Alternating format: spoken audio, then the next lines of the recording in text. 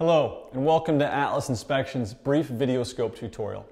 For complete operating and maintenance guidelines, you should always refer to the operator's manual. A video scope system is comprised of the scope itself, a high-intensity light source, a video monitor, and generally an image capture system.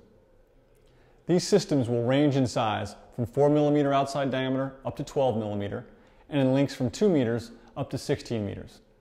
Scopes are generally used to inspect piping systems, tubes, rotating equipment, pressure vessels, assemblies, and many other things.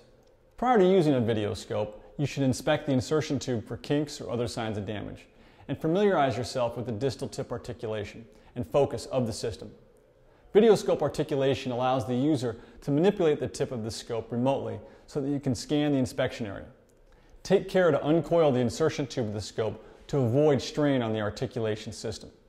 The video scope system also allows for direct and side view optics, so familiarize yourself with both types. The focal range on the video scope can be changed to allow for close-up viewing or further away. Familiarize yourself with this prior to inserting the scope. You can avoid costly repairs to any video scope system by following a few simple care and maintenance guidelines.